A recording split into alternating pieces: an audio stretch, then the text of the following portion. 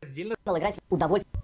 И как выбрался с дурки шутер-строитель. Ну, мне еще раз это напоминает спор э, человека, который любит пирожное, с человеком, который любит мороженое, где они пытаются доказать, что одно вкуснее другого.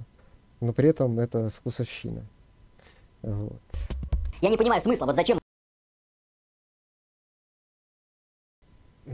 твое недовольство из-за взгляда тебе нравится пирожное, а мне мороженое. Ну, не согласен, по той причине, что здесь есть объективный... А, так вот, я не считаю, что это то же самое, потому что, ну, есть персонажи, у которых история интереснее, ну или, по крайней мере, не менее интересная. И говорить, что вот он главный этот, ну, фиг знает. Хотя, может, может, ты и прав, может, ты и прав.